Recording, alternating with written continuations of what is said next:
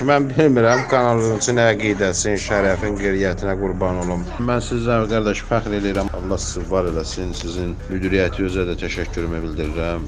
Sizə də Kanal 13 olaraq artıq 12 ildən çoxdur ki, təmənnasız və vicdanlı şəkildə xalqın xidmətindəyik.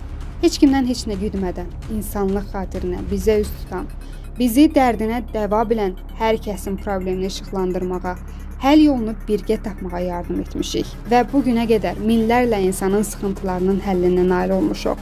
Ona bu ikinci dəfə döyüşdə həlak olan uşağa qəsəbənin nümayəndələri heç bir qiymət vermirlər. O düşən mərmilərin nəticəsində mənim evimin şifiri qırıq-qırıqdır.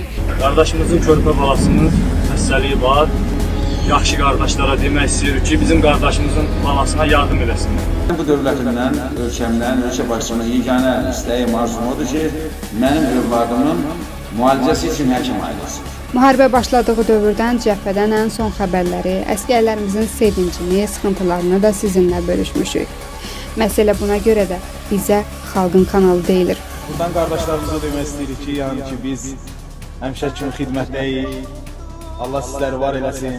Soda oturan məmur hələ də əsgərin haqqına girir. Çox xahiş edirəm, mənə köməklik göstərin. İki aydır ki, mənə əmək qalmır.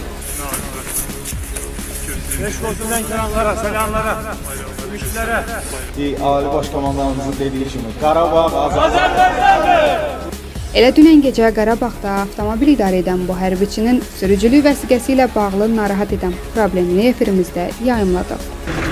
Mən bütün hüquq mühafizə orqanlarından xahiş eləyirəm. Mən müharibəyə gəlməmişdən qabaq Heydər Əliyev prospektində saxladılar məni. Maşınımı saxladılar, şəxsi maşınımı. Və dedilər ki, sən içkilisən.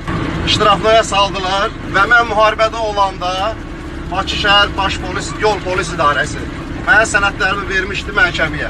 Mənim iştirakım olmadan məhkəmə keçirdim və məhkəmədə mənə 6 ay sürücülük vəsiqəsindən lişeniya verir. Müsal müəllim, hal-hazırda mən müharibədə maşın sürürəm. Bu gün isə artıq hərbiçi özü çəkdiyi görüntülərdə Daxili İşlər Nazirliyi tərəfindən probleminin həll olunduğunu deyir.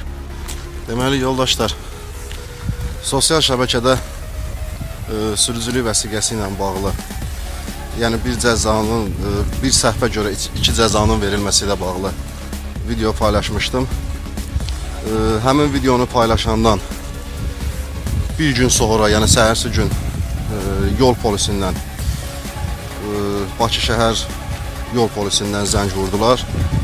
Polkovnik idi bir nəfər ad familiyası yadımdan çıxıb, sağ olsun. Maraqlandı məsələ ilə, soruşdu məndən bir daha. Yenə də mənə zəng vurdu, araşdırdı və nə lazım idisə köməklik elədi. Çox sağ olsun. Bütün problemlər o məsələ ə, ilə bağlı hamısı öz həllini tapdı. Biz həqiqətən həllini tapmış problemlər görəndə çox sevinirik.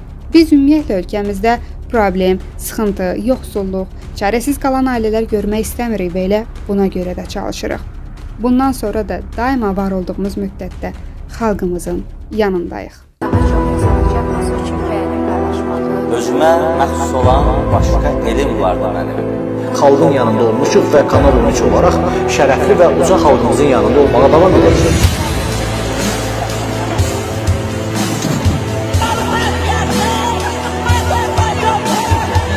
Azərbaycanın yaxşı böyləsinə şəxslərlə köməksin. Bu arada xəstələr bilsin burada həkimlərin nə işə baxır. Oyansınlar, haqqını tələb eləsinlər.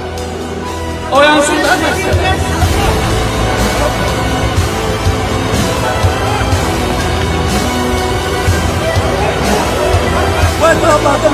eylesin. Merdan eylesin. Eladan başlar evrindeyiz. Kakıl salonu. 10 nefes, 8 nefes kurulmakta var. 90 markla doğrusu. Hürmetli vatandaşlar, bilirsiniz ki muhacirler kardeşi, işsizimizi. WhatsApp nömrələrimizə yazın və ölkəmizin gələcəyini birlikdə quraq.